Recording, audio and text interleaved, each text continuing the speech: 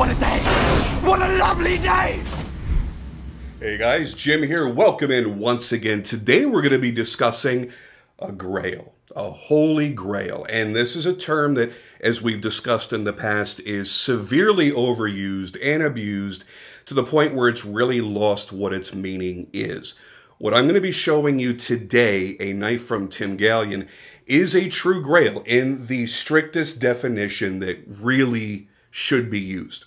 It is unbelievably difficult to obtain, nearly impossible, uh, whether it be for its exclusivity, it's the only one like it that exists, so it has that, uh, or for cost. This is nearly $5,000. So yes, there's the uh, the grail worthiness in the cost as well, meaning it's going to be very, very difficult to come up with the money or the justification to pay that much money for a pocket folding knife. So this really does check both of the boxes. It is nearly impossible to obtain.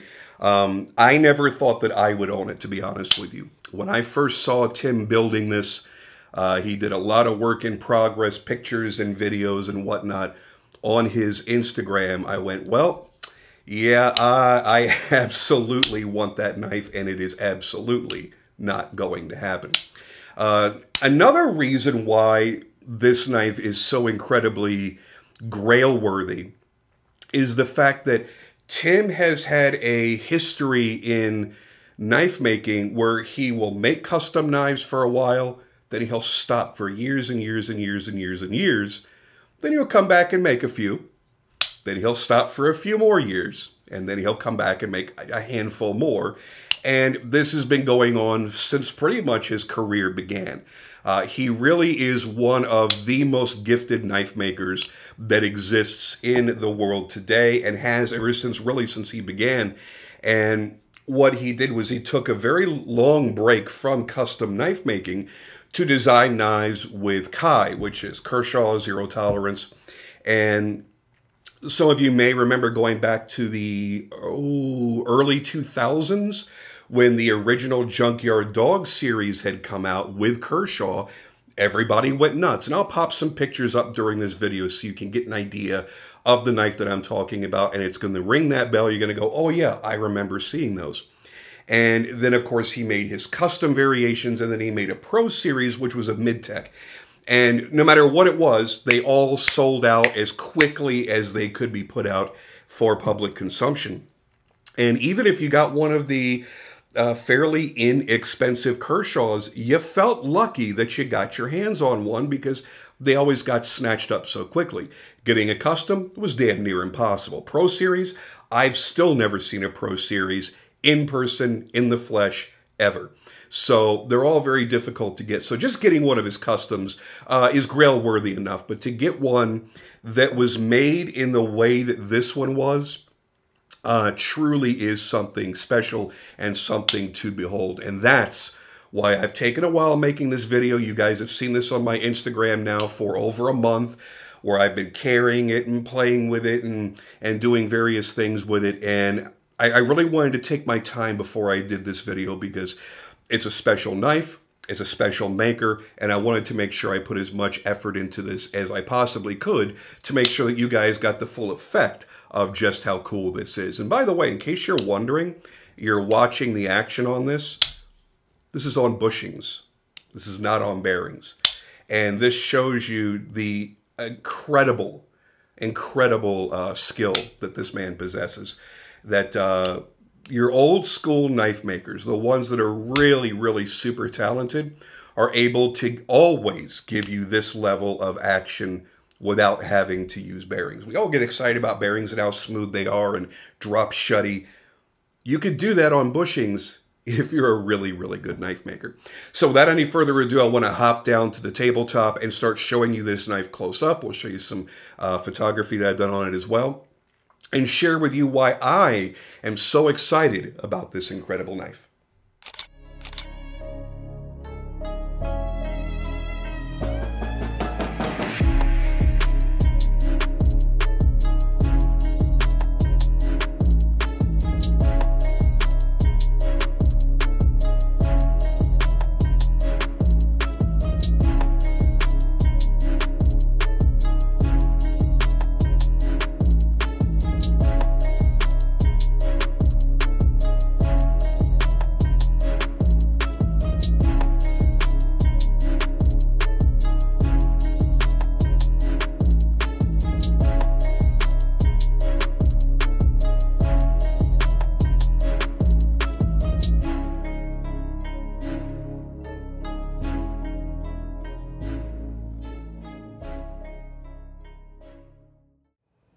And here she is up close and personal. What an absolutely beautiful, absolutely gorgeous design, incredible execution.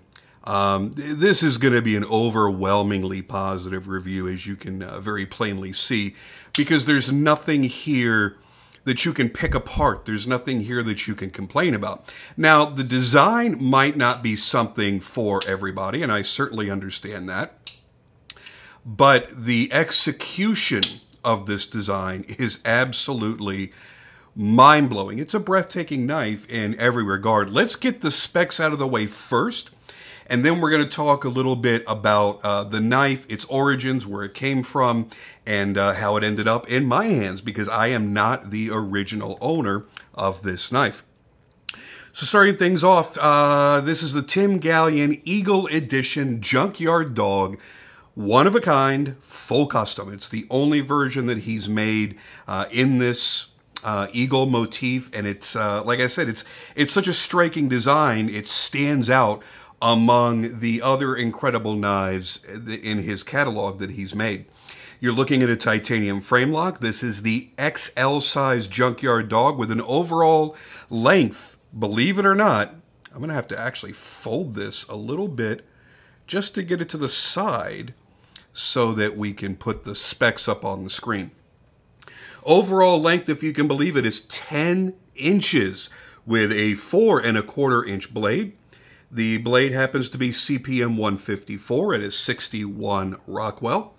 The inlays are done with carbon fiber, red G10, white G10, and blue G10, and then finished with a 2K auto paint and clear coat in an 11 step process. It's, it's mind numbing to think of all the work that he's done. Uh, you've got a hardened 440C lock insert. The, uh, the hidden pivot inside is a quarter inch 440C uh, hardened pivot, and the pocket clip is titanium, just like the, uh, the frame of the knife. Now, this is technically the Gen 3 of the Junkyard Dog. What I'd like to do here is I'm going to show you guys a bunch of pictures. Uh, I'm going to start off with my own photography from back in 2010, and then I'm going to show you some images that I grabbed off of Google Images because it's the only images that I can find to represent the uh, the progression of the generations and his work. And then I'm going to show you some work in progress pictures that Tim himself posted on his Instagram. Uh, I apologize to Tim in advance. I, I, don't, I had no way to get his permission to use the images, so I do want to credit him uh, for the images that he took and, and the work that was performed. So let's start things off with where the knife came from. Uh, what I'm popping up here are the images I took of my old Kershaw junkyard dog, and uh, I, am not sure what year it was made, but I purchased it secondhand uh, at the end of 2009 or early part of 2010. Um, I never scored a custom Tim Galyean or a Pro Series Tim Galyean. So this is the first time I've had a chance to own a full custom Tim Galyean. Now, you'll notice with the production knives and with the Pro Series, the mid-tech versions, uh, they had the, the fighter plane inspired theme that went throughout them. So you're going to see a lot of that. And this obviously deviates from that. It's still very American. It's still very red, white, and blue. Yeah, yeah, yeah. But it doesn't have that that fighter jet theme or or old uh, fighter plane theme that he's so well known for. In the first generations, you had a lot of choices. You could buy the Kershaw production knives because remember, in and out of his custom making career, he also worked for Kershaw as a designer, creating some incredible knives for Kershaw, which included his uh, JYD series. So you could get a small or a large in the Kershaw, and they did several generations of that, the latest of which is the one that I had. You could get the Galyean Pro series, and that was his mid-tech variation and there was either two or three i think there were three sizes a small a regular and a large if i'm not mistaken and this goes back a lot of years so i could be a little bit foggy on it and then you have the full customs You could have the fighter motif or a lot of other styles with uh, scales, with inlays, uh, knives done in Timascus and things of that nature. And they're very few and far between. They're very hard to come by because Tim took a lot of hiatuses during his career, uh, both not making knives at all and also taking time to simply just work with Kershaw uh, and work with designs for them. Now, the only images I can find online of the of the full customs are mostly from a dealer, which I don't want to promote. He's one of only two dealers on the planet um, that just a garbage human being that I don't want to give any promotion to. So I'm not going to steal his photography and, and, and, and list them uncredited. But I did find a couple of these images from Google. I want to give photo credit, but I can't read the language uh, from the websites that these came from, and the watermarks that are on there aren't very crisp and clear. So uh, I apologize. If it's you that took the pictures, please let me know, and I will certainly give you credit uh, in the description of the video. I'm happy to do so. Being a photographer myself, I wouldn't want somebody to steal my images. Now let's talk about this knife. The first thing that you're going to notice, besides the size and the colors, is the incredible action of this knife. This is on washers, my friends. This is not bearings. And this is every bit as fast and smooth as the best bearing knives that I've owned. And this is what separates the really great makers from everybody else. I'm not saying it's easy to make any folding knife, but it is easier to get a faster, smoother, quicker action with bearings than it is with washers because then you're dealing with tolerances, you're dealing with the way that everything is fit together. Just to give you an example, um, and I don't want to take a custom out here because I don't want you to think I'm picking apart anybody's custom work. Let's take a production knife and let's look right here. And you see how there is almost no room in between the titanium and the steel blade. Now you look here and you see very large gaps between the titanium and the blade. I'll grab another production knife which may also show that to you.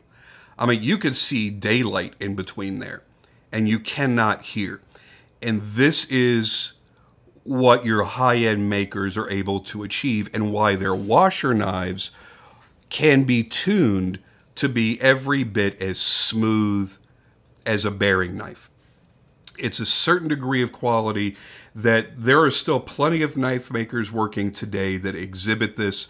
But to be perfectly honest with you, it's easier to work with bearings, and a lot of them just choose to do that because, well, it is a little bit easier. And they're going to take that extra time and put it into their finish work and their inlays and their file work and all these other wonderful things uh, that are available. This thing is. it's just sexy from the word go. I will say this it is large, man. It's a big, almost unwieldy knife. I wish this was a regular sized junkyard dog more than anything. And it's the only thing that gives me any trepidation to owning this is the size. While I have carried it and I have enjoyed it, uh, I really would love it to be a little bit smaller. Let me give you some some frame of reference here. I'm going to put the Galyean right down here at the bottom. And I'm going to show you some other knives that you and I commonly would carry to show you a really good size difference. Now, a, a good typical EDC size would be like this Pena X Series Mula. It's a three and a quarter inch blade. It just dwarfs the Mula in every aspect, in its length, in its height, uh, thickness, everything. It is insane what the size difference really is.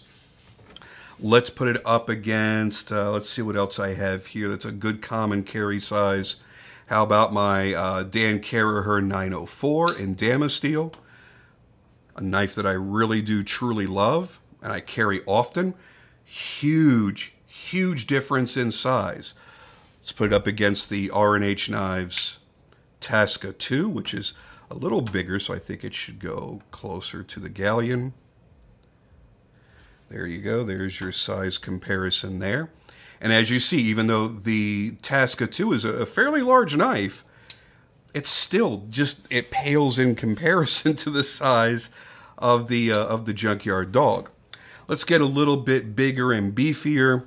Let's get into the EMP EDC Nimble X, which is a three and a half inch blade. So you're getting the idea here. That this is a tremendously upsized knife. Put it up against my DSK Tactical Custom. This was the Diamondback V2 prototype that Dan made me. And as big as that knife is, it just, it does not compare.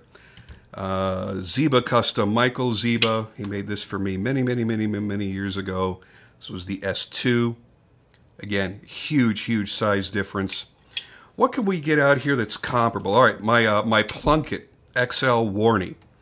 Another great custom. I love carrying this knife. Even though that's a big knife, and a, a lot of you saw that when I did the review, it's still, it just doesn't come close to how crazy. By the way, look at the action on this one, too. Beautiful, beautiful action on that. The closest thing I have is this production knife here. This was the uh, Alpha Smilodon by PMP Knives. There's only one of these. This was, yeah, this was number one of one. This one comes close when you add in the glass breaker, but it's still not there. The Alpha Smilodon is enormous, still doesn't come close. So that gives you a good idea. And again, we'll, we'll show those tolerances again. Let's see if I can get the camera to focus here. Come on, baby. There we go. That's a good focus job. Thank you. And you see the uh, the differences between the gaps of the frame and the blades. There's nothing wrong with how this knife is made, but it just shows you the amount of time and work that goes into this.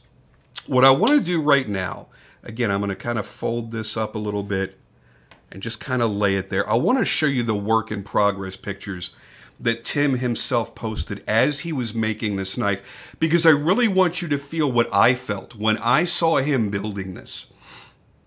The excitement because he had only made, I think, two, if I'm not mistaken, two Generation 3 Junkyard Dogs prior to this one. He had taken so many years off of knife making that most people that, you know, just started getting into knife making don't even know his name or may have forgotten his incredible legacy. And when I saw him come back, I was like, holy shit, Tim Gall. I think I even made a post. Like, Tim Galyean's back. Go follow him. This is going to be incredible and he only made a few knives and now he's not making knives again. The last time he's made a knife making post has been over a year. It was 2021 around June.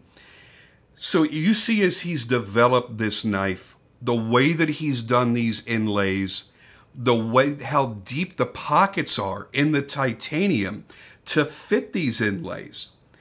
He's basically used a big, huge, thick piece of blue G10 and then inlaid the multiple pieces of carbon fiber, inlaid the multiple pieces of the red and white G10 into that, into this tub of blue G10, which ends up just creating a border. It's brilliant. And as he was talking about it during the building process, these these inlays can be removed by him and refinished so that the knife can always look good throughout its life. I love the fact that you don't see hardware on the presentation side of the knife. I also see the, the, the incredible length of time that he spent making this knife. That when he made the announcement to do the auction for it, we were all ready. I, I knew it was going to be above my pay grade. I just sat back and watched. The highest bid that was on there was not the winning bid. My friend who ended up getting this knife uh, had made a private bid that did not go on his page that was uh, quite a bit higher than the highest bid that's on his page that you can reference. And all of that is higher than the knife that he sold previous to this. Um, he made as a lotto. It, it was a little bit less intricate in the inlays and the way that it was made and I'm going to show you that right here. And you can see the price in his post that he charged for that one as a direct maker price. So when I say that this knife is worth around $5,000 now, at this point, I think it might even be worth more than that, and I might be, be being a little bit generous on that. Here's the downside to owning a knife like this it's sometimes hard for a lot of people to justify carrying a knife of this magnitude because I mean, do you really want to scratch up a knife like this? Do you ever want to risk dropping it and dinging or chipping the titanium frame or the pocket clips snagging on your steering wheel as you get into your car and bending it out and ruining it? There are a lot of reasons that people don't carry knives of this caliber. I do, I always have, because for me, part of the enjoyment is carrying and even using the knives that I own. Like I, I've told you before, there's only one knife that I own that I've only carried one time just to be able to say that I carried it, and I will never, ever, ever carry it again because the finishing process was was made from uh, the Academy Awards, Oscars, gold, because Michael Zieba was making the the gold plating for the Oscars for the Academy uh, that year when he made that knife for me and used the exact same gold and the exact same finish, so it can never be replicated. If I ever damage it, it that's it. I'm screwed. But every other knife I've owned, regardless of price, uh, and I have spent more than this on knives, uh, I've always carried and I've always just loved and enjoyed. But there are plenty of people that will buy a knife like this and simply put it in a case, put a little single halogen bulb over it, and just look at it every day. And that's their enjoyment. They're using it like a piece of art. And there's nothing wrong with that either. Enjoy your knives for however you want to enjoy your knives not everybody's going to want to carry something like that. I tell you right now, if I owned, you know, uh, a twenty thousand dollar Cabot 1911, I wouldn't be out on the range shooting it every weekend, and I probably wouldn't even carry it because there's a certain grade you get to that you're like, eh, my appreciation's going to be in the beauty and not so much in the function. This one, I've been enjoying the function. I would have regardless, but I'm going to tell you why specifically that I have right now because the original owner, the gentleman, uh, my friend that bought this, that actually won the auction, carried and used it. And when I get the lighting just right, you'll see the scratches in the hand rub. And this, believe it or not, is the good side.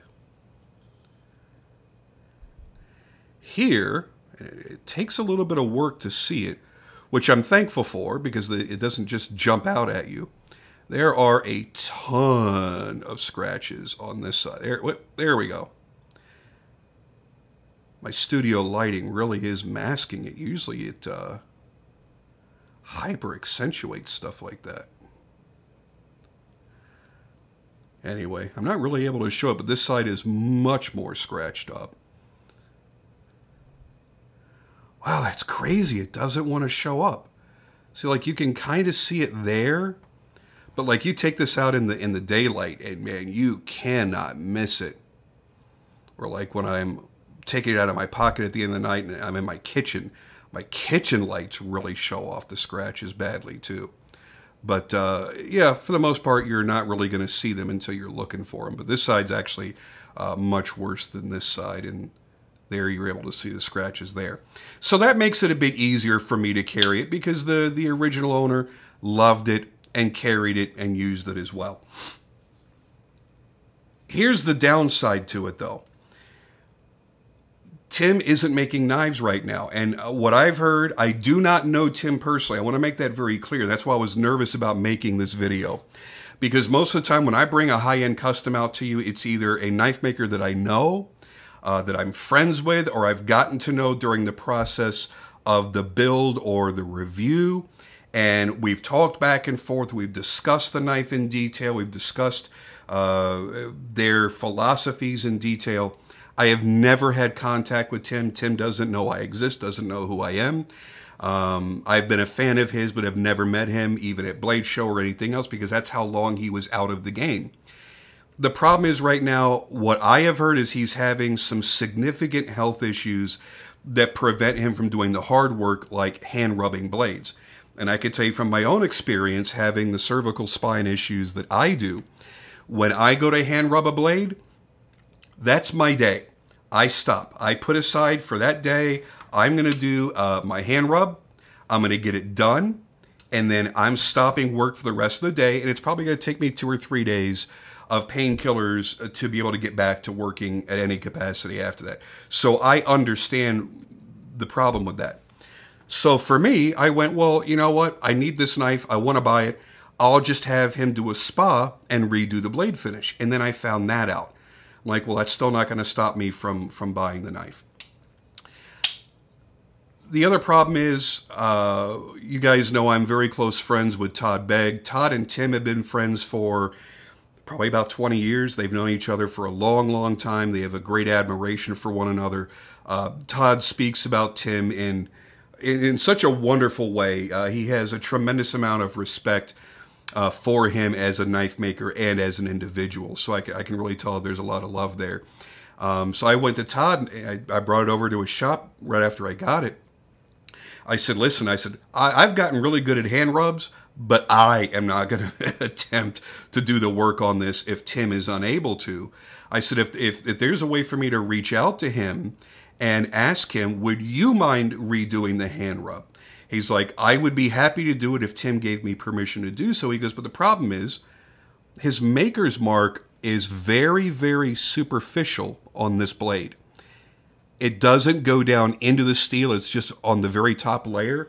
He goes, as soon as I go to swipe it, it's going to take that clean off. So I would actually need uh, one of his stencils in order to reapply his maker's mark.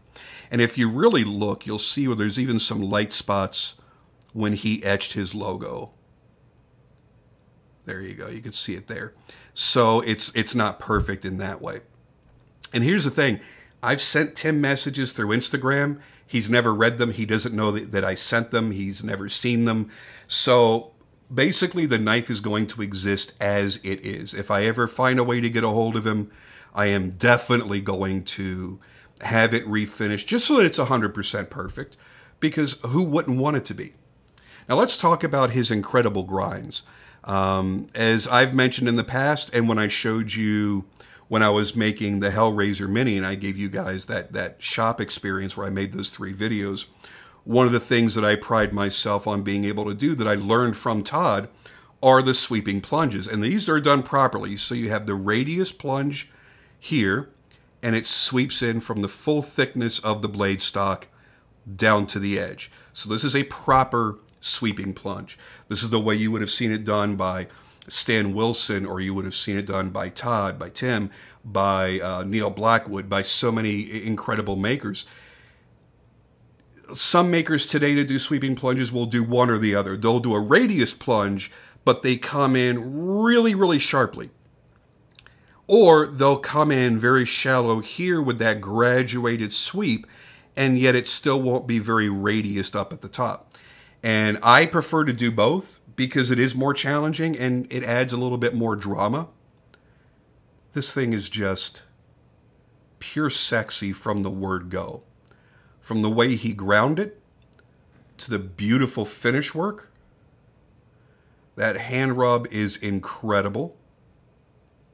Very, very high grit hand rub. If I had to guess, I'd say 12 to 1500 grit hand rub. Beautifully done. But what really made this knife a must own for me is the handle work to see these inlays, this glossy finish. This is like if you were buying a Bugatti or a McLaren or uh, a Pagani, and you look at the carbon fiber in the tub or in the, the in, in, in the body work, and you see the beautiful, perfect weave, and you see this glass-like smooth finish to the carbon fiber that's what he's done here with this 2K automotive finish. He's also done that back here, so your backspacer is also carbon fiber with blue G10 sandwiched in between the carbon fiber pieces, and it's finished the same way. I mean, even looking at the backspacer is breathtaking. And feeling all of this, it is, it's truly seamless. If I Helen Keller it, if I sit here and I close my eyes, and I just run my fingers all around it, I cannot tell where the titanium ends and the inlays begin. except for the, the difference of this gloss versus this bead blasted feeling. That's it. It is perfectly seamless. You can't tell at all the differences in the inlays because all of that was done perfectly matched and then this this automotive finish has been done over it with the multiple layers of clear coat.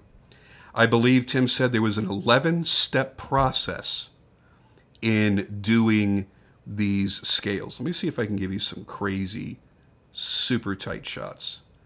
Does my camera want to focus or not? Come on. I'd really love it to because I really want you to see. There we go. I mean, holy shit, man. There's a couple little scratches in it from being carried.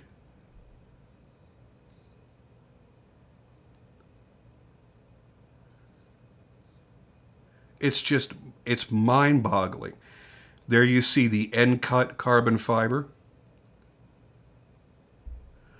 Look at the detail, even in the way that he sculpted this clip.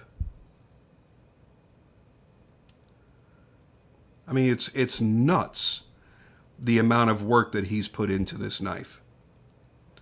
All of these inlays, so you have one, two, three, four, five, six, seven, eight pieces of carbon fiber, one piece of red, one piece of white, this huge tub of blue that creates that border, another piece of blue in there. I mean, there's there's so many different section pieces. It's truly insane. Now on this side, the hardware that you see is still very minimal. The two body screws, the screw that holds in the steel insert for the lock face, and then the backside of the pivot, should you have to make any adjustments whatsoever, which I have not had to do even once. Action is, I mean, look at that. It's just incredible. Yeah, it's very easy to get excited about a knife of this level. Now, a lot of people may not like the huge size of the flipper tab, but this goes back to the original Generation 1. This is part of the design and how it looks. Yeah, he could make a flipper tab that's a third of the height, and it would function just as well because his detent is perfect. And when I say perfect, I don't mean it's a really crazy, scary, hard detent so that you can get a super crazy action, which is what I have here on my Zieba. It's a very, very hard detent. I believe it's even a flat face detent to, in order to get that action. Look at that. That's on bearings, and even though it's it's a pretty good action, it's still not this. This breaks like a glass rod. It just it's just incredible. I can't shake the blade out, and that's a big heavy blade, but it's completely effortless to break the detent when you're flipping it. Obviously, it's going to be perfectly centered. My God, if, if you were somebody that couldn't center your damn blades, there's no way you'd make a backspacer like that because that would be the ultimate tattletale, wouldn't it? Tim is a legend for a reason, and I sincerely hope that he is able to get back into making knives once again because his work should be celebrated. It's been celebrated for decades your older collectors all know the name. They all understand the prestige that's involved with owning one of his knives. And I would love for more people to be able to do so. Let me give you a weight on this because we talked about everything else, but we didn't talk about the weight. Oh. Woo! I told you that's a big boy. 7.7 ounces. Heaviest knife I have on the table behind that would probably be this. Wow, that's it's actually heavier. Well, that is all titanium, no inlay work. Remember those those channels he cut in here were very very deep. So let's do that again. So 7.7 ounces. Put it up against my DSK 6.8. I've always felt that was a, real pocket hog, a really really heavy knife. Beautiful, great, super beefy, way, way thicker in the blade stock, as you can see. Then you get something like this. It's you know much easier to carry. 3.4 ounces. 4.8 ounces. 3.6 ounces. So we're talking about a knife that is going to be substantial, not only in the way that it looks, but in the, even the way that it carries. But do I give a shit? Not in any way.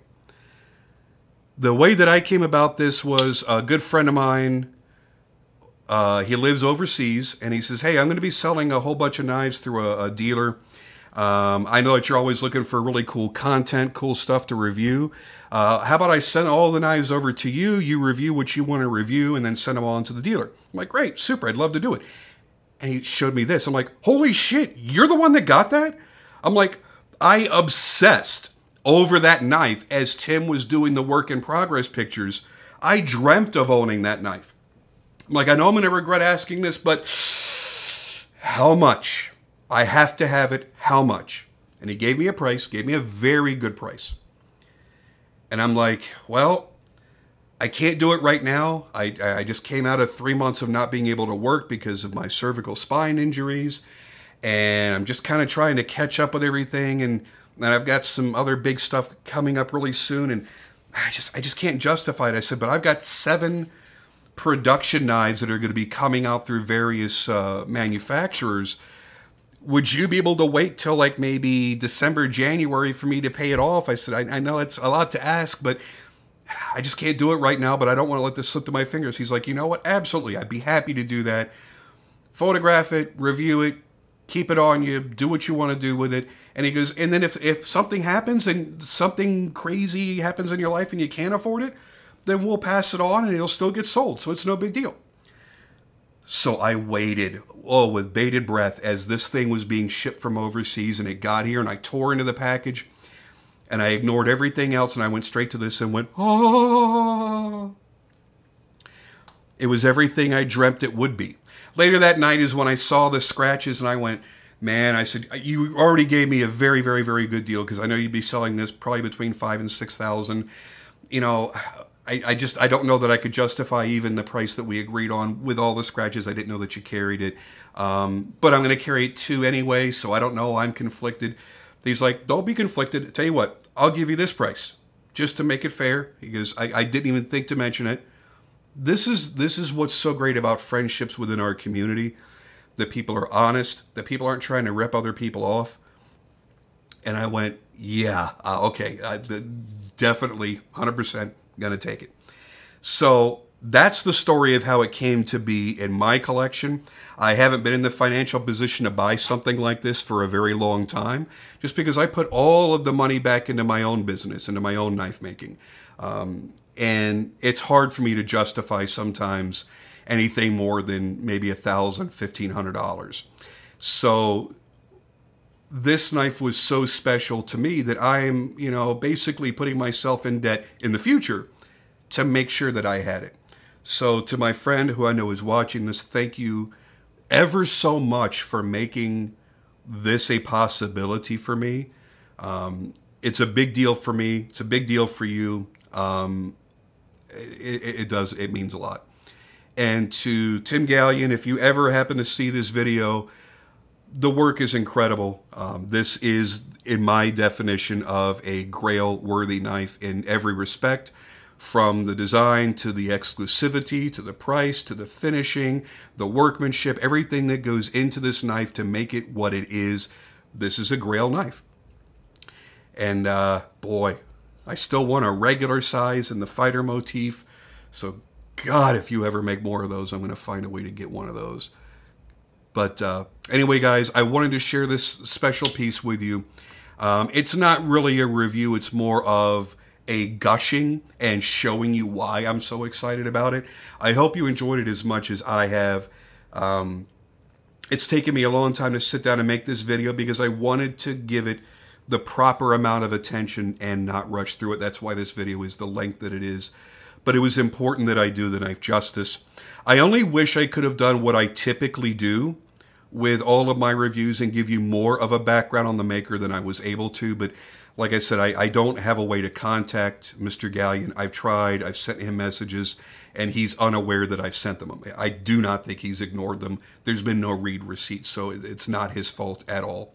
I would have loved to have given you a, a deeper background on him and his ideas behind the Junkyard Dawg, why he's why he designed it the way that he did, and, and why he's gone to Generation 3, why this particular variation was made but unfortunately I was unable to do so. Um, maybe I could do a follow-up video someday in the future. I would love to.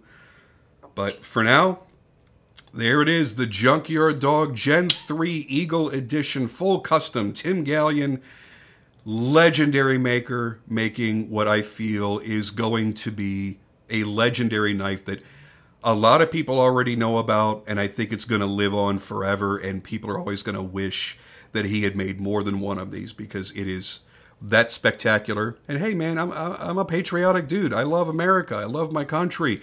And the red, white, and blue theme, I love that. But I'm also a motorcycle guy, so I, I that ties in with my love uh, of motorcycles. If I were a boat guy, it would it would tie in with racing boats as well. There's there's just something so and I don't want to say American about it, but there's something so manly about it the colors, the angles, the shape, the way that everything was done in this particular theme, it just fired on all cylinders for me and made me want it even more. Thank you guys for sharing the time with me. I certainly very much appreciate it. And uh, I've got some big surprises coming for you very, very soon. So please stay tuned. If you're not subscribed already, I would highly suggest subscribing because I'm about to change my format again just a little bit, make it a little bit better and make it better for you in the end. And I'll see you guys on the next video.